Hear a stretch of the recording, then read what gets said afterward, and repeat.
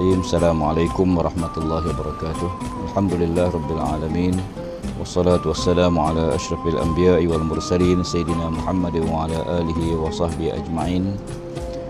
Uh, para penonton yang dirahmati Allah sekalian, alhamdulillah kita panjatkan syukur pada Allah Taala uh, kerana kita diberi kesempatan untuk terus berada pada bulan Ramadan yang diberkati Allah ini dan mudah-mudahan uh, dengan mengharapkan agar Allah Subhanahu Wa Taala mengurniakan kepada kita uh, ketakwaan kepadanya yang tinggi dan mendapat beberapa kelebihan dan rahmat pada bulan yang mulia ini insya-Allah.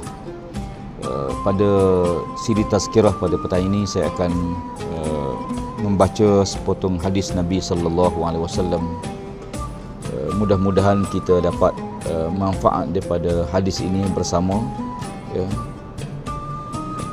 suatu hadis yang diwakilkan oleh Imam Ahmad irtaqan Nabi sallallahu alaihi wasallam ala al-minbari darajatan faqala amin summa irtaqa thaniyata faqala amin summa irtaqa thalithata faqala amin faqala ashabuhu ala ma amanta qala atani jibril faqala raghima anfu mri'in zukirat indahu falam yusalli alaik Fakultu amin. Faqala raghima ampum ri'in Adraka abawaihi Falam yadukulil jannata Fakultu amin. Faqala raghima ampum ri'in Adraka ramadhan Falam yughfar lahu. Fakultu amin Rauh Ahmad. Maksudnya Nabi sallallahu alaihi wasallam menaiki mimbar untuk berkhutbah. Baginda melangkah anak tangga yang pertama Kemudian beliau berkata amin. Kemudian baginda melangkah tangga yang kedua. Nabi juga berkata amin. Kemudian Nabi melangkah anak tangga yang ketiga. Nabi juga berkata amin. Lalu para sahabat bertanya, Ya Rasulullah, kenapakah kamu berkata amin pada setiap uh, anak tangga tersebut? Lalu kata Nabi sallallahu alaihi wasallam, "Atani Jibril." Eh, Jibril AS telah datang ber, berjumpa denganku, bertemu denganku. Faqala, lalu Jibril AS berkata, Raghima ampu mri'in adr zukirat indahu, falam yusalli alaih. Jibril AS berkata, kecewa dan rugilah ya Muhammad. Mereka yang mendengar nama kamu disebut, tapi dia tidak berselawat ke atas kamu. Lalu aku berkata, amin. Kemudian bila aku melangkah tangga yang kedua, Jibril AS berkata, rugi dan kecewalah ya Muhammad. Mereka yang mendapati ibu bapanya telah tua tapi dia tidak menghormatinya. Ya, dan dia tidak akan masuk syurga Allah subhanahu wa ta'ala. Lalu aku berkata amin. Dan bila aku melangkah tangga yang ketiga berkata Jibril AS ya, kecewa dan rugilah ya Muhammad sesiapa yang bertemu dengan Ramadan tetapi Allah tidak mengampuni dosanya. Lalu aku berkata amin. Muslimin dirahmati Allah sekalian hadis ini menunjukkan kepada kita pertama bila mana kita mendengar nama Nabi sallallahu alaihi wasallam disebut maka kita kena berselawat kepada Nabi. Dan berselawat kepada Nabi ini bukan perkara main-main. Ya, sebab kita dapati sebahagian di kalangan kita ya, yang tidak kisah pun dengan dengan nama Nabi dan berselawat ke atas baginda. Mari kita mendengar memahami sungguh-sungguh apa yang diwahyu oleh Allah Subhanahu wa taala yang biasa kita dengar ya, pada setiap hari Jumaat khatib akan baca innallaha wa malaikatahu yusalluna 'alan nabi.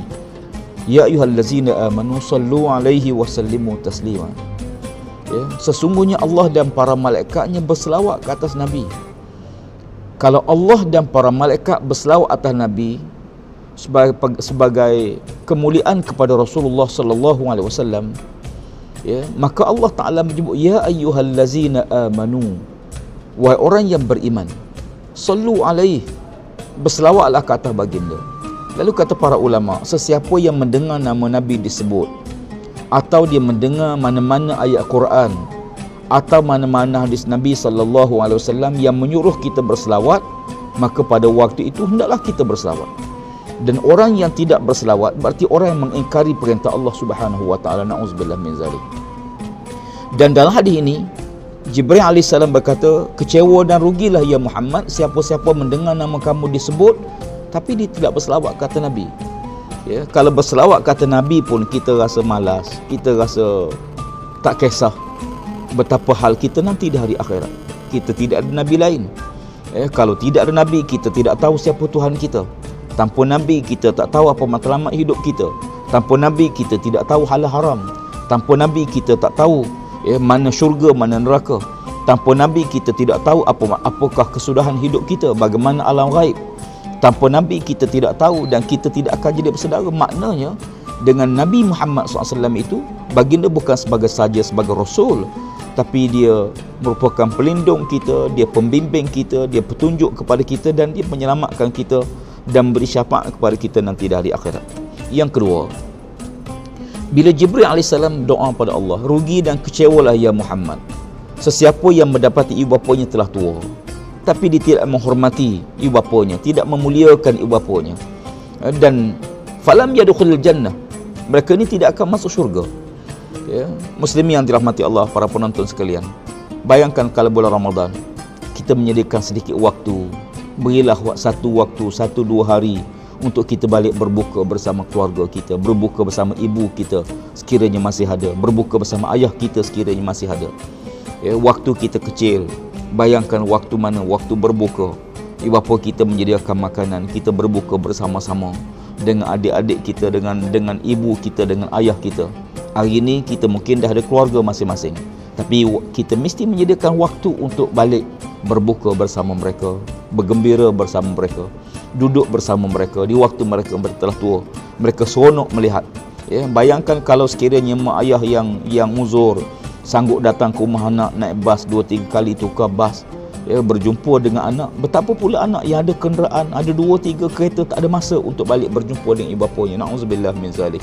Muslim yang dirahmati Allah kita harus menyediakan waktu untuk ini yang ketiga Jibril AS berkata celakalah ya Muhammad siapa-siapa yang hidup dalam bulan Ramadan tapi Allah tidak mengampuni dosa mereka.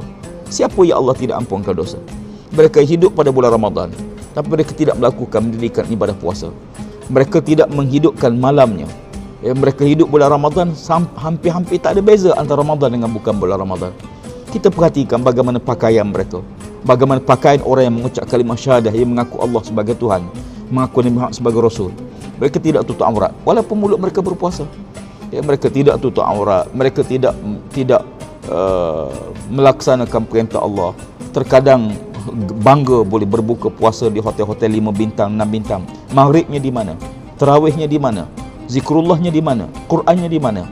Ya, bukan Islam menghalang, bukan Islam menghalang tetapi jangan kerana kita ya, berpuasa tapi kita tidak menjaga adab-adab berpuasa. Sebab itu saya sering kali sebut ya, ya memetik kata-kata seorang hukama yang terkenal. Dia kata, aku tidak bimbang untuk menjaga perkara membatalkan puas puasaku aku boleh jaga perkara membatalkan puasaku tapi aku bimbang kalau-kalau aku gagal mengawal ya, perkara yang membatalkan pahala puasaku jadi yang kita kena jaga bukan saja jaga jangan batal tapi jaga juga jangan jangan hilang puasa. Jangan batal pahala puasa tersebut. Sabda Nabi sallallahu kam min sha'imin laysa lahu min siyamihi ila al-ju'i wal 'atsi berapa ramai orang puasa dia tidak akan mendapat apa-apa daripada puasa mereka lapar dan dahaga. Ramadan ialah bulan mujahadah. Ramadan juga sebagai bulan jihad. Mari kita tingkatkan semangat jihad kita. Perjuangan kita untuk menegakkan kalimah Allah Subhanahu wa taala. Perjuangan kita untuk menangkan Islam. Kerana Ramadan ini bulan yang terbaik ya waktu Allah belenggu segala iblis dan syaitan inilah waktunya kita tingkatkan pengorbanan kita mujahadah kita jihad kita sedekah kita perjuangan kita untuk sama-sama kita menyaksikan insya-Allah satu perubahan besar dalam konteks negara ke arah ya, mendaulatkan agama Allah Subhanahu wa taala menegakkan kalimah Allah menegakkan Islam Mudah-mudahan dengan kemenangan Islam, negara kita akan selamat, bangsa kita akan selamat, umat kita akan selamat. Islam melindungi Islam, melindungi Muslim dan juga bukan Islam.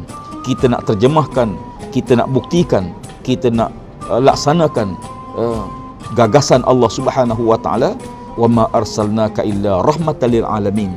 Aku tidak utuskan engkau ya Muhammad melainkan bawa rahmat bagi seluruh alam.